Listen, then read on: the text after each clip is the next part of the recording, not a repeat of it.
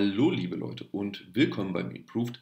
Seid nicht allzu geschockt, dass es hier doch noch äh, ein Video gibt. Ich, mir gefällt nicht, dass es hier zu lange Pause gibt auf dem Me Improved Projekt, ähm, also zumindest in der Öffentlichkeit. Und deswegen habe ich beschlossen, einfach eine Reihe von Videos einfach zu machen. Ähm, die Hintergrundforschung und die Hintergrundüberlegung, die äh, mache ich ja eben. Also habe ich mir gedacht, naja, dann mache ich halt schnell äh, kurz eine Mindmap für das Video und äh, rede kurz darüber. Ist relativ unsystematisch, noch unsystematischer als es sonst ja so bei mir ist, äh, manchmal hier in den Videos. Und ähm, äh, das ist ein gutes Verhältnis von Aufwand und ähm, Produktivität von Nützlichem, sage ich einfach mal.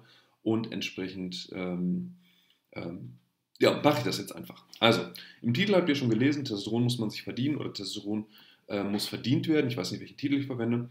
Was meine ich damit? Es gibt gewöhnlich also die, äh, die gängige ähm, Verbreitung oder der gängige, gängige Gedankengang ist, ähm, dass man eben biochemische Gegebenheiten hat, also wie die Zinkversorgung und das Vitamin D ähm, oder die äh, unmittelbare Umwelt, die eben zu hormonellen Dingen führt, wie dass man im Großraumbüro arbeitet und dann relativ viel künstliches Licht hat und so weiter. Und das führt dann eben dazu, dass das der, Testosteronspiegel ähm, eben so und so hoch ist und entsprechend fühlt man sich und verhält man sich. Aber es gibt eben auch die umgekehrte Richtung. Ähm, wenn man zum Beispiel, das kann man bei Fußballfans nachweisen, dass die eben, wenn die eigene Mannschaft gewinnt und sich entsprechend verhalten, dass der Testosteronspiegel äh, steigt. Das kann man nachweisen dafür, dass äh, der Status in dem Sinne ähm, zuerst kommt, also wenn man eben in Hierarchien sich verändert äh, ähm, oder sein Status in der Hierarchie sich verändert und dann erst das Testosteron nachfolgt. Es gibt eine ganze Reihe von Nachweisen dafür, dass, ähm, dass erst die Handlung, erst die Veränderung kommt und dann das Testosteron. Das Testosteron ist in dem Sinne ähm, eine Reaktion eher äh, ähm, auf äh, geänderte Umstände oder auf unsere Handlung und Entscheidung und ähm, weniger als die treibende Kraft. Es gibt natürlich eine Rückkopplung. Das heißt, je mehr Testosteron man hat, desto äh, kerniger fühlt man sich natürlich und ähm, je kerniger man sich fühlt, desto besser oder desto äh, größer ist die Wahrscheinlichkeit, dass man eben in Positionen kommt, die eben dann wiederum Testosteron günstig sind. Aber das ist der erste, äh, hier die, der erste Zwischenstand. Ihr könnt einfach mal äh, überlegen, also als Mann, äh, kann man aber auch als Frau machen, ähm, an wie vielen Stellen eures Lebens müsst ihr euch wirklich als Mann verhalten. Also männliche, äh, ganz klassisch männliche Verhaltensweisen eben zeigen. Also euch durchsetzen, Dinge reparieren, äh, etwas jagen, etwas ähm, erlegen, etwas ähm, euch im Wettkampf durchsetzen, euch messen, ähm, die Muskeln spielen lassen. Das kann jetzt auch einfach äh, beim, äh, bei Klimmzügen sein oder Kreuzheben oder so, ne? also solche Sachen. Also ist das quasi ein äh, normaler Bestandteil eures Lebens, dass ihr männliche oder ne, man kann auch einfach kernig sagen, ähm, äh, Dinge tut. Und äh, die meisten von uns werden feststellen, das fühlen die meisten Männer ja auch so oder so, dass wir eben in einem Leben leben, in dem Männlichkeit in dem Sinne nicht gebraucht wird. Das ist quasi die Komponente, dass man sich Testosteron verdienen kann. Da kann man noch so viel äh, Zink und, und Vitamin D irgendwie fressen. Ähm, wenn die Komponente nicht stimmt, dann, ähm, dann kann man auch nicht auf einen hohen Testosteronspiegel äh, dann eben hoffen. Umgekehrt als Frau gilt das übrigens genauso. Also, wenn man, also man muss sich das Testosteron im Mann verdienen. Das bedeutet, wenn man eben als Frau nicht auf eine Art und Weise äh, sich verhält, ähm, die ein Mann mit viel Testosteron und, und Verhaltensweisen, die äh, eben, ich sag mal, klassisch attraktiv sind, ähm, dann, äh, äh dann hat der Mann auch keinen Bock auf dich oder keinen, keinen Bock auf die Frau entsprechend.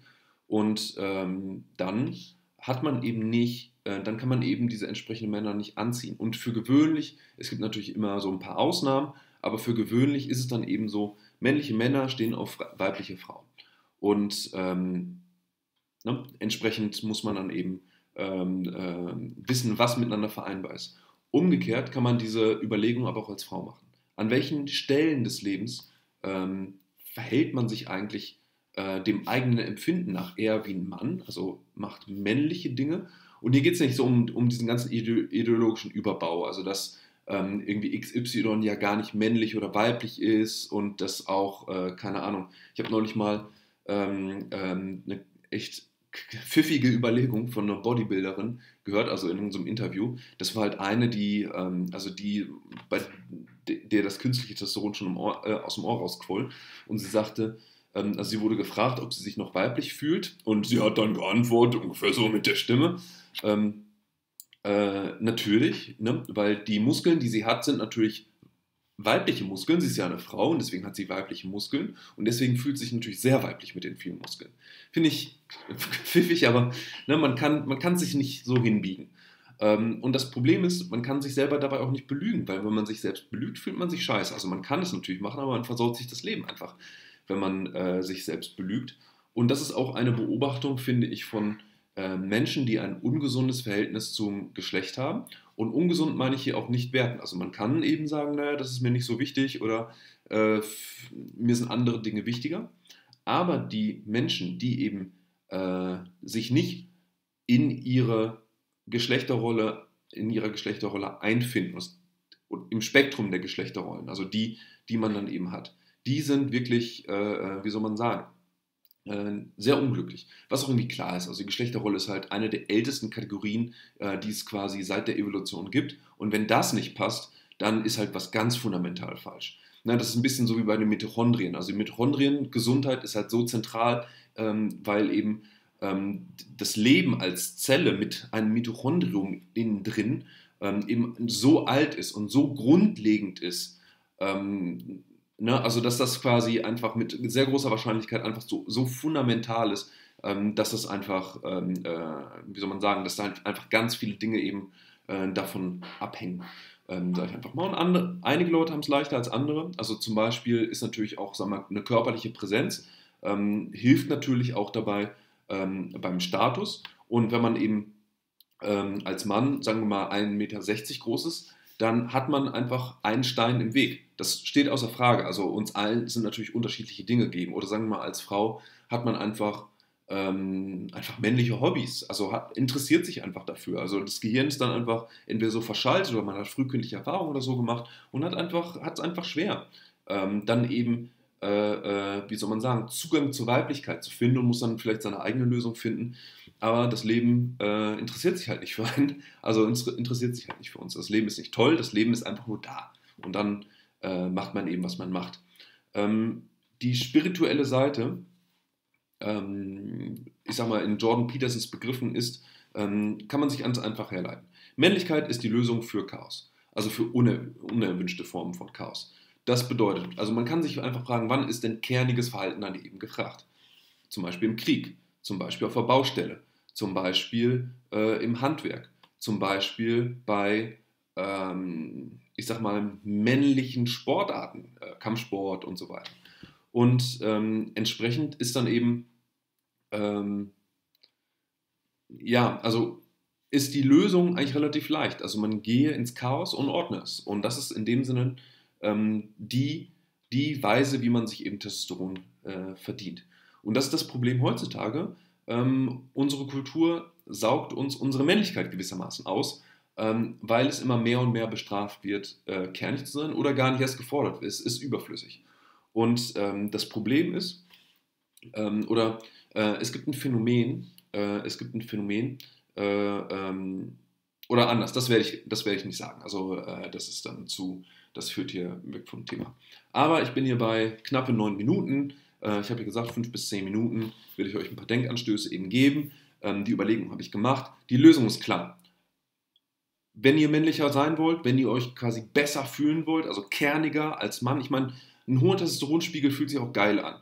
Ähm, also, ja, also man Ne? Also, äh, ähm, wie soll man sagen? Also, wenn man das eben verkraftet, sage ich einfach mal, und es physiologisch ist, also man sich nicht irgendwie die Spritze in den Arsch setzt, dann ähm, fühlt es sich einfach geil an. Und ähm, ja, geht raus, macht was heile, repariert etwas, schafft etwas, ähm, ne? baut etwas, hebt schwere Gewichte, macht persönliche Rekorde. Ähm, das ist in dem Sinne, ähm, wie soll man sagen, äh, der Weg zur Männlichkeit. Äh, genau, und als Frauen müsst ihr natürlich dann äh, entsprechend euch äh, im Gegenstück verhalten. Also wenn euch das wichtig ist, ne, also wenn euch wichtig ist, dass euer Partner äh, oder potenzieller Partner eben männlich ist, müsst ihr eben weiblich sein. Ähm, wenn ihr ähm, ne, Probleme, sage ich einfach mal, Schwierigkeiten habt, irgendwie Zugang zu eurer Weiblichkeit zu finden, könnt ihr eben dann eben überlegen, okay, wo gebt ihr euch selber dann überhaupt die Gelegenheit, ähm, dann eben weiblich zu sein, wie immer der, ihr das auch fühlt. Deswegen sage ich, man kann sich selbst da nicht belügen. Also man kann, ähm, also das, die, das eigene Gefühl, das ist in dem Sinne da nicht äh, betrügbar und die, das gesunde Verhältnis zur eigenen Geschlechterrolle, das äußert sich auch in psychischer Gesundheit, in dem Sinne, dass man ruhiger ist, weniger reaktiv ist, weniger neurotisch ist.